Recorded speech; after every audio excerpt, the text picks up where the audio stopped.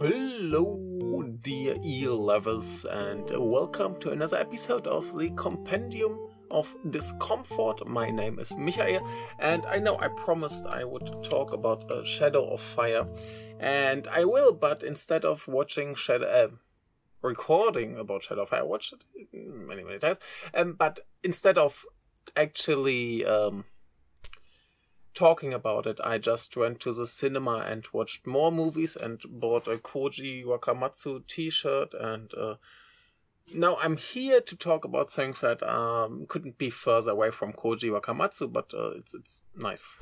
And uh, yeah, so I just thought I'd make two short uh, videos about stuff that I watched in the cinema, and Shadow of Fire comes maybe tomorrow or so when I have more time and more sleep. So, anyway, so this time we will talk about a movie that is uh, called Shinmai Kisha Torokko.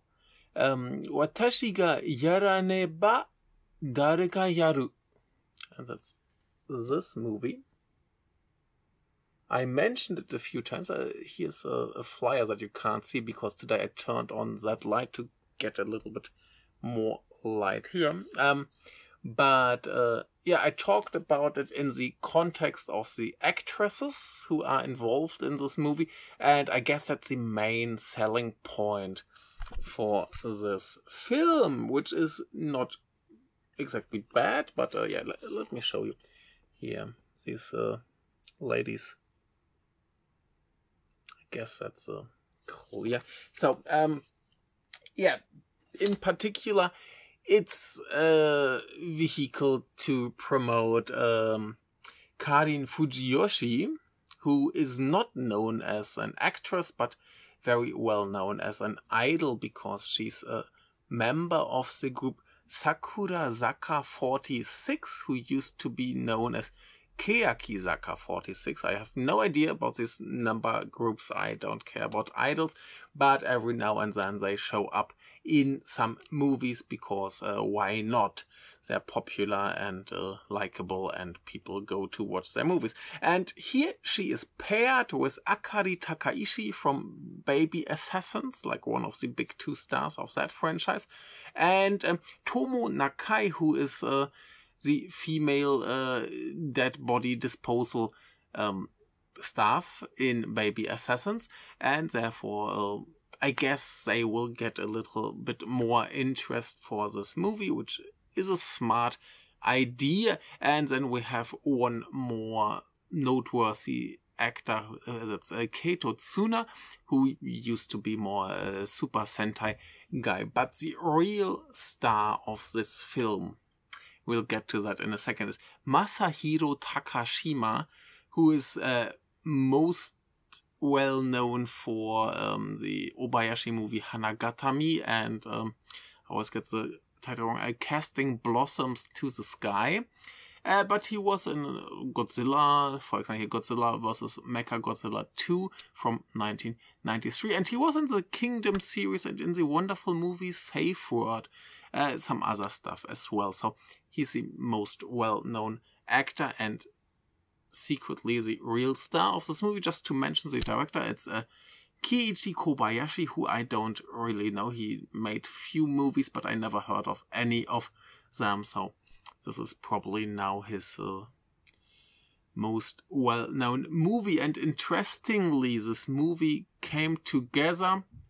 Um, because a university student pitched the idea that he had when he was in school, and one of the um, uh, part-time teachers there is um, a man that's a Takutoshi Naoi stuff. So uh, he's known as a producer for stuff like on the edge of their seats and swimming in a sand pool. So both movies that are based on high school plays. So uh, similar here, like a student pitched the idea, he picks it up, and yeah, he produced this movie. And yeah, it's a very nice, simple movie. It, it's about a girl who likes um, writing literature and uh, she wants to join the literature club at her school. But because she gets hit by a drone in the head during the uh, entrance exam, basically, she can't join the test. Um, but she, she's a big fan of um, a writer who's seemingly a student at that school, and they make a deal like if she infiltrates the um, journalism club and uh, finds out some stuff there, she will uh, be able to meet her idol. And so she joins basically the journalism club, and things happen. And it's a very nice little cute movie, nothing too special. Let's uh, get the rating uh, four out of five. It's it's solid. It's good. There's not much to complain. Um, the cast is nice and fun. The whole story is good enough for what it wants to be, like a movie for high school kids, I would say, or older gentlemen. Like today in the summer, there were basically only old men who probably like to uh, see some young girls. An old man, so who am I to complain? Um, anyway, so um, it doesn't do much wrong. It doesn't do anything enormous or great or really surprising. It's something you would usually just uh, put on on a nice Sunday afternoon and you get entertained for about I don't know one and a half hours or something like that, and without getting hurt.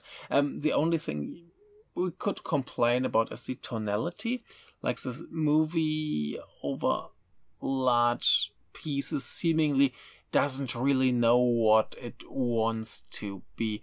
So in the beginning, especially when she gets hit by the drone, the drone just hangs in her hair when she wakes up, and um, then when she tries to join this um, journalism club, she goes to a lake or something, and there are like one million QR codes. Uh, put on everything that's there on the ground of the water, on the plants and everything. So these scenes are quite silly and uh, fun and suggest a little strange little comedy.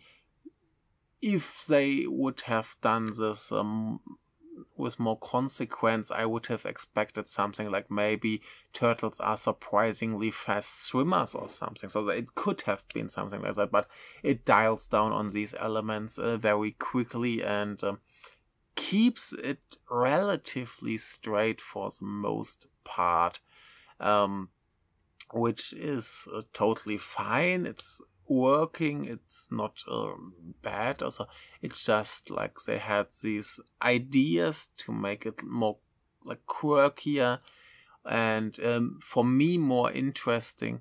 But it's totally fine. It's a nice uh, teenager movie, like a basically a crime story because journalists need to uh, find out some mystery, some wrongdoing and uh, get the bad guys. And that's the point where the movie gets really, really good. And that's the aforementioned uh, Masahiro Takashima, who seemingly is the only one who knows in what kind of movie he is, and just goes completely gaga and weird. Like he's the archetypical comic book bad guy with a large portrait of himself on the wall drinking milk and uh, just being weird and uh, a huge douchebag. And he's really, really fun. He's uh, very entertaining. And every scene that has him in it, like his face does stuff. And it's a glorious. It takes some time until he finally shows up, but then every scene he's in is just a, a lot of fun because yeah, he, he knows he's in a weird, quirky movie and plays it completely like that. Um, so I, I don't really remember him in other movies. I need to look out for him, but I'm I'm pretty sure he's not doing that all the time, and uh, he just did it for for this one because that's the kind of movie it was supposed to be. And so we have a little bit of a dissonance maybe between him and the other characters, which is really weird because everyone else plays it much straighter.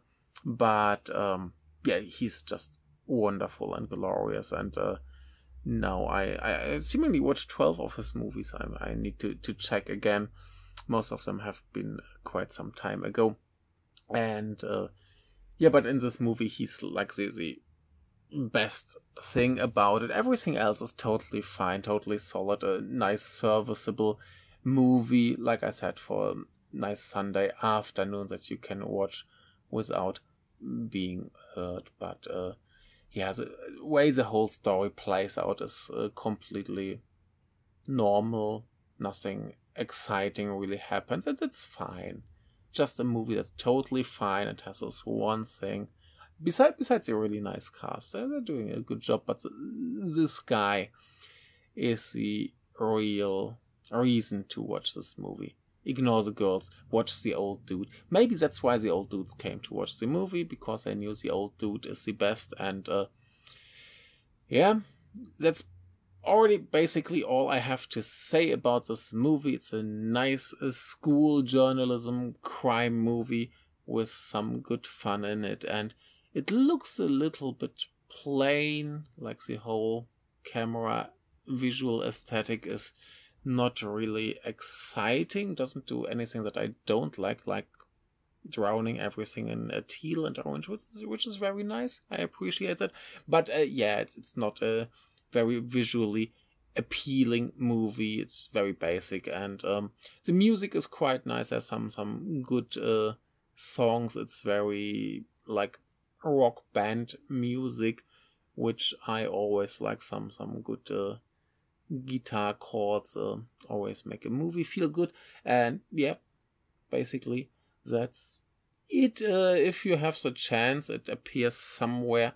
I, I can imagine it would be the kind of movie that shows up at the um, uh, Jap- Pan Film Festival online, or they changed their name. I always forget how they changed it, but you know what I mean. That's the kind of movie that would appear there for free streaming, and uh, in that case, you should watch it because it's good. But uh, yeah, nothing to be overly excited about. Um, or if you're a huge, huge Akari Takaishi fan, you must watch everything she does it's a it's a totally fine movie. Watch it. You will have your fun. Uh, she's very good here. Um, yeah, but that's all. Let's keep it short for today. Thank you very much. I will record the next video, or maybe I will record the last video because maybe the next one will come out first and this one confusion. See you.